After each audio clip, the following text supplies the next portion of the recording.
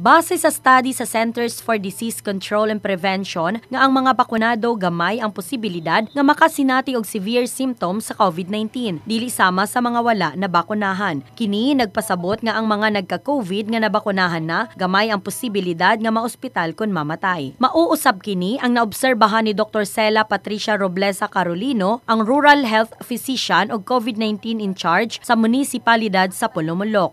as I've said, sa mga nakikita natin na admitted sa hospitals and even in our, facilities here, uh, sa facility namin ngayon, kahit 32 sila, none of them are hooked in, sa IVF, meaning walang naka-IV. So meaning doon lang sila for isolation purposes and for resolution of their symptoms. Ganun lang. Wala tayong mga gina, wala tayong pasyente as of now na nagde-desaturate. Ibig sabihin, wala tayong pasyente doon na bumababa talaga yung O2SAT compared before. Sama ni Gerson Francis Fulgencio, trabahante sa usa ka pribado nga kumpanya, ikaduha na matud pa siya na taptan og COVID-19. Sa una nga higayon asa wala pa kini nakapabakuna, halos tanang sintomas sa COVID-19 iyang nasinatian, lakip na ang kalisod sa pagginhawa. Apan sa ikaduha nga higayon, asa nabakunahan na kini, gilagnat lang matud pa siya og giubo. Sama ni Francis, mauusab kini ang nasinatian ni Tatay Alejandro Felicilda. kuan ma'am hilanat lang ma'am ubo sipon di man kaayo kuan ma'am murag normal naman ma'am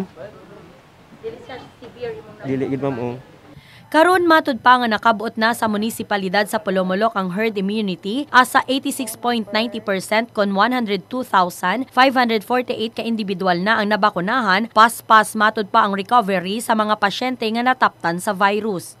O lisod ka na magmas nya mag ka na magstorya mura kag ma, ano, magapas ka sa ginhawa. Lahi ra siya compared ka ng karon ako nga abi gina ko di ko magpositive ato mo to nga nagpa check up ko kay ubusipon raman to Sa karon anaa na sa 4,536 ang natala nga aktibong kaso sa COVID-19 sa Polomolok. Asa 50 niini ang bag-ong kaso nga natala kagahapong adlawa. Sa karon padayon gihapon ang panawagan sa lokal nga panggamhanan sa Polomolok nga sundon ang minimum health protocol aron malikayan nga matakdan sa COVID.